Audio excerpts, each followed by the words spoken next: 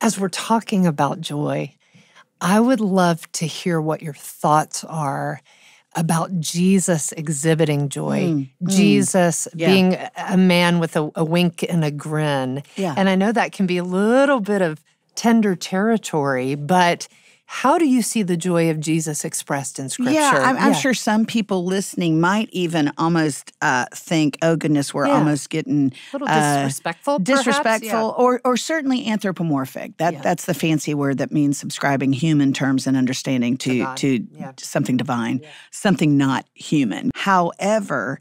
I, I think we can prove definitively through scripture that Jesus uh, participated in recess. I, I think we can prove through scripture that Jesus had a great sense of humor